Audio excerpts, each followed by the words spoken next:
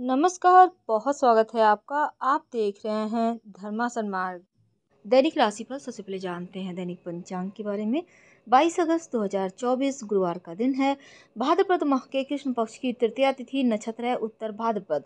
द्वितीय नमक योग बंडा अभिजीत मुहूर्त सुबह ग्यारह संतावन से दोपहर बारह उनचास तक। राहु काल का समय दोपहर एक तीस से शाम तीन बजे तक। राहु काल के समय में कोई भी नहीं और शुभ कार्य ना करे विघ्न आ सकती है। अब बात करते हैं आज के राशिफल की। तो मिथुन राशि वालों, आज का दिन आपके लिए बहुत अच्छा है। आपका स्वास्थ्य बढ़िया रहेगा, करियर में सुधार होने के योग हैं और साथ ही आज के दिन कोई भी जोखिम भरे कार्यों में निवेश मत कीजिएगा अनुभवी लोगों से संपर्क आपको लाभ देगा। घर के विवाद सुलझ जाएँगे, राजनीतिक क्षेत्र से जुड़े हैं तो आज बेहतर फील करेंगे। संतान के भविष्य के लिए कुछ योजनाएँ बना सकते हैं, क्रोध और आवेश पर थोड़ा कंट्रोल रखेंगे तो उत्तम रहेगा। व्यापारी भाई हैं, संयम से कार्य करें, विरोधी आपके गतिविधि पर नज़रें बनाए हुए हैं बनते बनते कार्यों में विघ्न आ जाए, इसका ध्यान रखिएगा। सामाजिक मान प्रतिष्ठा का भी ध्यान रखें, ज़्यादा लोभ लालच मत कीजिएगा आज।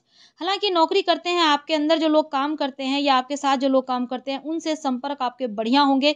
वरिष्ठ अधिकारियों के साथ तालमेल बिगड़ा बिगड़ने मत दीजिएगा और धैर्यपूर्वक अपने कार्यों में लगे रहिए।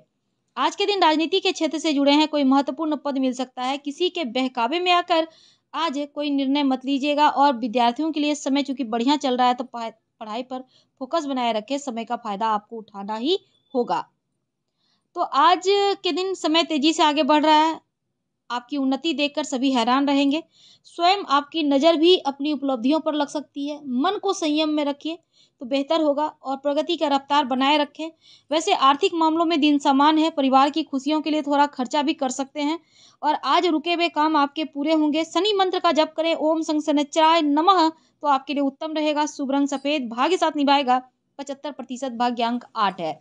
तो आज सतर्क रहना इसलिए है क्योंकि कोई आपसे दिल लगी या फ्लड करके अपना उल्लू सीधा कर सकता है। ध्यान रखिएगा, जीवन साथी के साथ व्यवहार बढ़िया बनाए रखें और दूसरा, जो विद्यार्थी हैं, पढ़ाई लिखाई पर फोकस बनाए रखें। बहुत अच्छा है, बेवजह की चीज़ों में समय नष्ट मत कीजिएगा, बेवजह का बातें करके इधर उधर करके समय बर्बाद मत कीजिएगा। तो आज थोड़ा सा ध्यान रखना है। हम आपसे विदा लेते हैं। हर हर महादेव, धन्यवाद।